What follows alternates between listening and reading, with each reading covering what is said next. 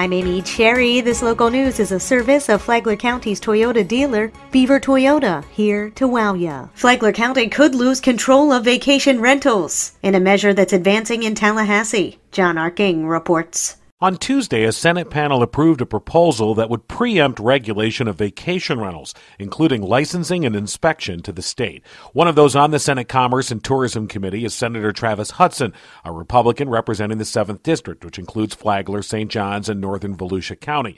In 2014, he and State Representative Paul Renner were instrumental in passing the current law, which was lobbied heavily for by Flagler County officials, in which local governments were given the authority to regulate short term rentals. As late as last June, Hutson told WNZF he was still in support of that stance. I think we had a good law that we passed in 2014 with the input of the commission and the county administrator, the county attorney. Uh, should we, and that law basically says you have full local control except for three parameters. Should we expand on those three parameters and talk about on street parking and garbage and fines? Maybe, but I think the local control itself needs to stay in place. And that's what we're going to continue to fight for. And as it goes through the process, if it comes in front of me, I'll continue to listen to the community and see where we need to amend it. In supporting the new measure Tuesday, Hutson said his change of heart was at least partly prompted by new ordinances at the local level he believes go above and beyond regulation and essentially are trying to deny landowners the right to rent out their properties.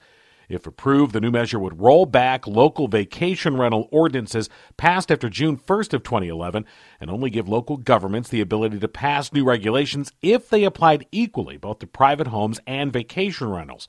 That would on a practical basis make such regulations impossible. From the WNZF newsroom, I'm John Arnold. And then there were nine. An advisory committee has narrowed down the list of candidates desiring to be the next Flagler County Schools superintendent. Those candidates internally include Executive Director of Leadership and Operations Earl Johnson and Matanzas High School Principal Jeffrey Reeves. Former district employee Vernon Orndorff also made the short list. Other candidates include Ron Wagner, Kathy Middlestat, Eric Jackson, Janet Womack, and Matthew Lutz. The Flagler County School Board will discuss candidates at its February 18th meeting and choose finalists on February 25th. A final decision on Superintendent Jim Tager's replacement could come by mid March. Who is involved in the MedNex project and what can we expect from it? Palm Coast Mayor Melissa Holland said first Senator Travis Hutson and Representative Paul Renner. She said that they have supported the regional project that affects from Nassau County to Brevard County. Then the mayor said there are the institutions who are involved in the town center project. Not just Advent Health as a collaborative partner of MedNext, we have Mayo, MD Anderson, Baptist Health, Brooks Rehabilitation. Holland said the project would spur education and jobs in the region. This truly will take a pipeline of classroom to career using the K through 12. Jacob Oliva is supportive of this project. He sees it as a true benefit of true job creation. This is economic development at its finest. The mayor said between now and 2024, some 200,000 healthcare jobs would be needed in the region. To hear the whole interview, download the Flagler Radio app and then go to the Free for All Friday podcast. Tomorrow, the Job Growth Grant Fund. From the WNZF Newsroom, I'm Deb Albertson.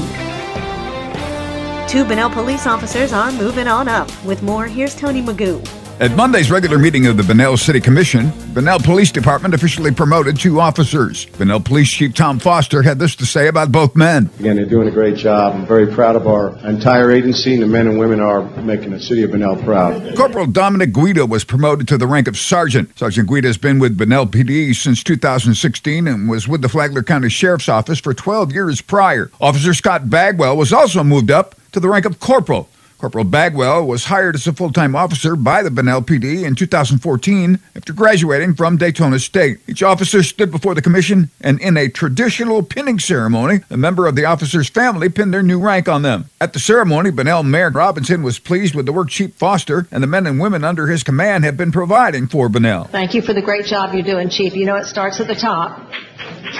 For Flagler's Morning News, I'm Tony Magoo. And now you're up to date on Flagler's Morning News. I'm Amy Cherry.